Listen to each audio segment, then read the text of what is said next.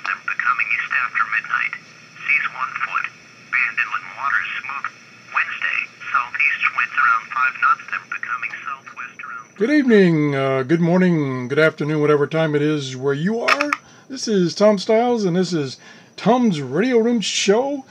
And boy, am I behind. I am so far behind. But anyway, what I did um, over the past couple of days is I retrieved some of my radios from storage. And um, this is kind of one of my favorite ones. And I'll tell you why it's one of my favorite ones in a few minutes.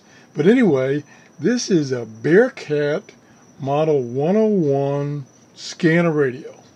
And it covers most of the VHF, UHF bands up to 512 megahertz. And it is one of the first, not the first, but one of the first programmable scanners. Just before this, the scanners required crystals for each channel. So you had to buy a crystal of the frequency you wanted to listen to for each channel.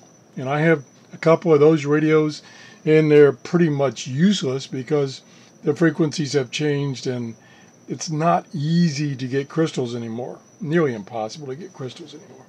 And they had a, a, a set of sockets inside the radio you took the cover off and you plugged in these little crystals. Well, this one came out later and you didn't it didn't require crystals. You could actually program it and it has 16 channels that you can program. These are the 16 channels right here. Each of them has their own little switch. And what was unique about this, and I got a quick kick in the camera, is that you programmed this using these switches. And there was two ways of doing it. One is in the manual, they had a list or tables of frequencies. And they would list frequencies, kind of the common frequencies for each of the bands.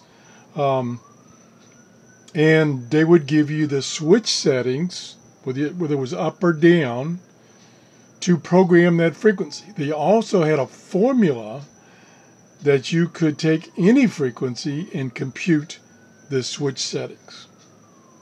So to program it, what you had to do is you had to enter the programming mode, which I'm in right now. Lights on means red light means it's in the program mode.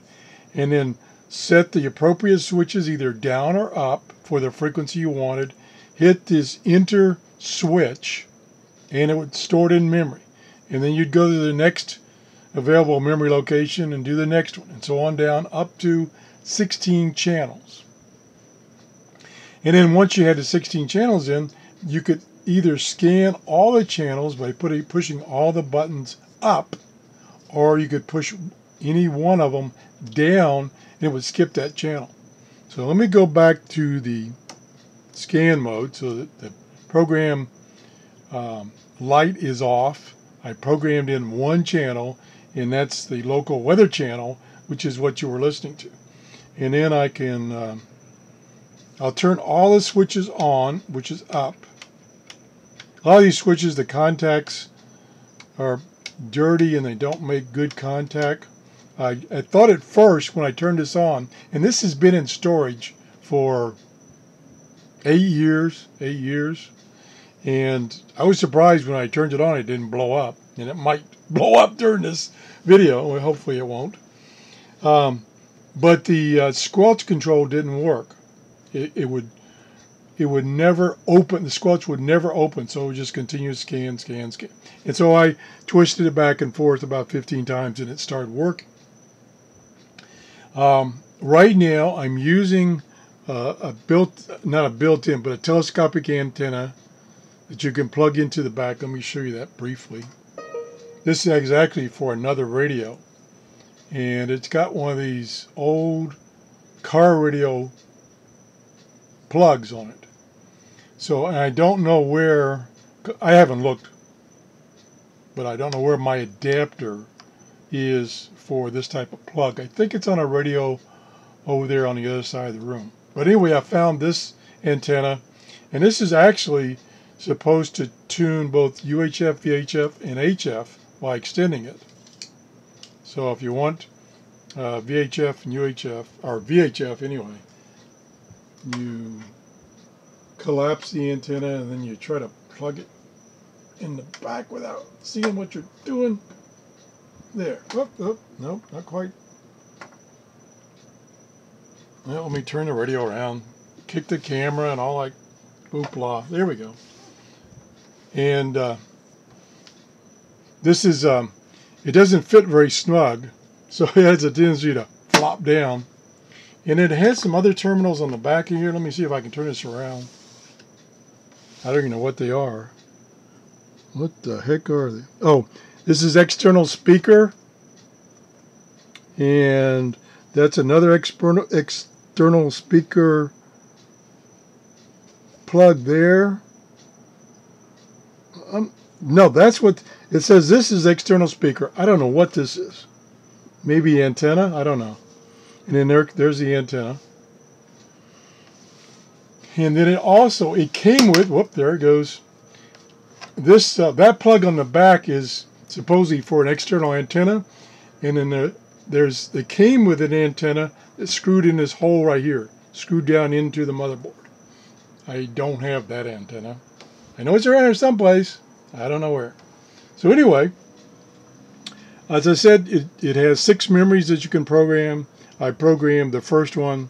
Um, and like I say, what you do is it's got, got this lookup table you can use if the frequency's in the table.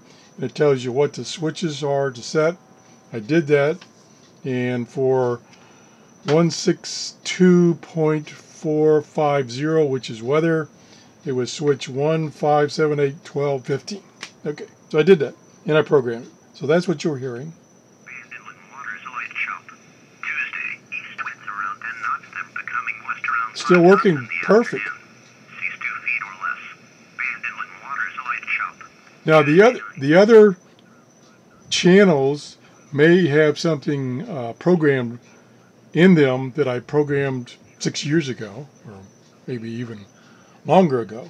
So I'm going to put it on scan, get everything up so it should scan, and it doesn't. Why isn't it scanning? Okay, there's there's how you manual step it. You push down to manual step. It's supposed to push up to scan. Go. Well, I don't understand why it's not scanning. There we go. It, like I said, the squelch knob pot potentiometer is noisy, so the squelch is a little intermediate, intermittent. Oh. to 3 feet. It's it's stopping on this one because that's the weather station I programmed, and it's very close and very strong. So we turn that off, and now now it's scanned. There we go. That was the problem. That's the other thing I liked about this old radio is these blinking lights. I love that. I've got several other old radios that are kind of this vintage that have the sequence of LEDs that it scans across to get tell you what channel it's on.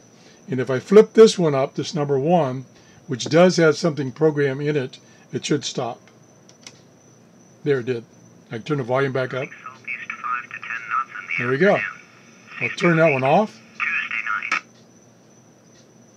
and it starts scanning.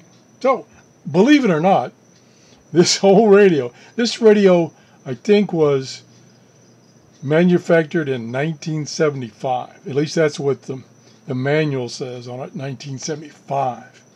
And like I say, this is one of the first programmable scanner radios that does, not require crystals. So I thought I'd show you that. Like I say, I, I'm bringing out a lot of my old radios and kind of dusting them off and see if they're working. I'm really amazed this thing's still working. And uh, if you enjoyed the show, please give me a thumbs up. And I appreciate everybody that's been using my Amazon store.